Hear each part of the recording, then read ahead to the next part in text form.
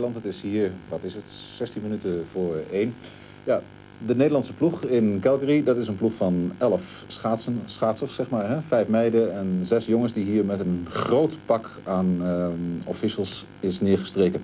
Dat wil zeggen, de mannen zijn er al. De vrouwen zitten nog steeds in Noord-Amerika. Maar niet alle mannen zijn naar Butte gegaan. Twee van hen gingen van de wereldkampioenschappen sprint van West Ellis, gingen direct hier door.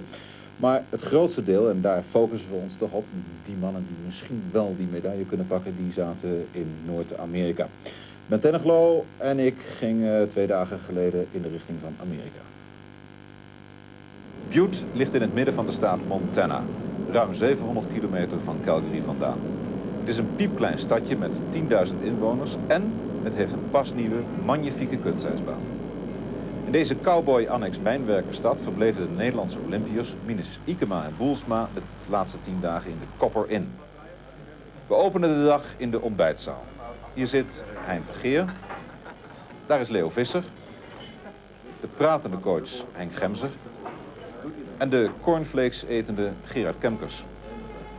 En dan de damesploeg onder leiding van coach Egbert van het Oever. De sfeer is er ontspannen, hoewel toch iets wat giechelig nu er een camera aanwezig is. Kijk maar naar volg. Hein Vergeer warmt zich op en temperatuur prettig. En dat juist spreekt de Nederlandse atleten zeer aan. Calgary krioelt van de mensen. In Butte is het bijna idyllisch te noemen. Hier zien we Leo Visser bij zijn ochtendwarming-up. Bijna als in een schilderij. Ten eerste lekker trainen. En gewoon lekker ontspannen, zodat we in de goede vorm komen waarop we gehoopt hebben. En dat, dat, dat lukt aardig op het moment. Maar heb je geen zin om in die lekkere Olympische sfeer daar te komen? Een beetje chaotisch, maar toch uh, Calgary? Nou, weet je wat het is? Als je twee weken in die Olympische sfeer zit, dan, ja, dan uh, verzwak je een beetje. Dan, uh, dan raak je de scherpte een beetje kwijt. Dan is het echt gebrande. Om daar hard te willen rijden is een beetje weg. Vandaar dat we gewoon pas een paar dagen van tevoren voor de Olympische Spelen aanreizen. En dan echt gebrand aan de stad staan. Hoe is het om deze wereldstad zoals Butte nou eenmaal is, om daar een trainingskamp op te slaan? Uh, heel rustig. Maar het is, uh, wat dat gaat is precies wat we nodig hebben.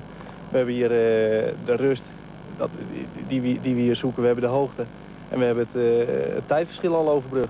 Dus wat dat gaat, we zitten van een uurtje, uurtje vliegen van Calgary af. Dus dat gaat, zit hier gewoon aan. Proefrit verontrust niemand in Butte. Drie mannen rijden deze dag de 5000 meter, ook als test. Gerard Kempers zal als eerste starten om 12 uur precies. Een situatie zoals komende week in Calgary. Want wat dat betreft laat Gemser niets aan het toeval over. Hier zijn topsporters bezig met hun laatste voorbereidingen voor Calgary. Het is ruig. Het is, uh, het is, er is geen luxe. Het is inderdaad zo dat je dus op jezelf aangewezen bent. Dat je uh, met de ploeg op, op, pad bent. En in die zin uh, ook nou, eigenlijk nergens door afgeleid wordt. En dat, dat spreekt me erg aan. Calgary swingt op dit moment. Ja, ik, ik heb een beetje gekscherend overigens, maar gezegd dat, dat Olympische Spelen, voor zover dat kan, uh, kan inschatten, want ik heb het er nooit van nabij meegemaakt. En zeker zoals het me nu dus, dus aankomt, voor 90% kermis is, en dat bedoel ik in de positieve zin.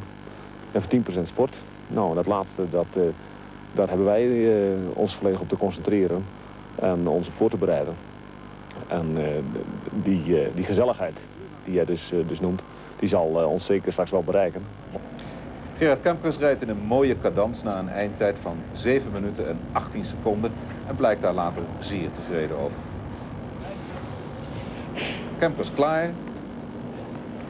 Gemser pakt een volgend bord en dan rijdt Leo Visser. Je hoort hem werken. De zon breekt door. Het ijs wordt slechter.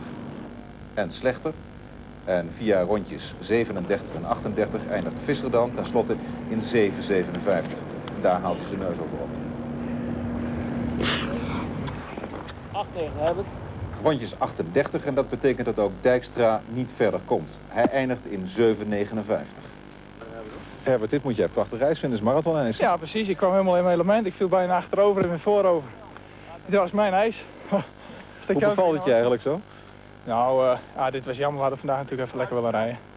Maar het is de hele week toch wel goed ijs geweest. Dus uh, het is jammer dat het net met de wedstrijdje is. Niks aan te doen. Maar het is, de zon die staat recht op de baan. Dus hartstikke warm. Het is net Italiaans ijs. Hoe komt het nou? Dat die machines uitstaan, denk ik. Ideaal trainingsoord.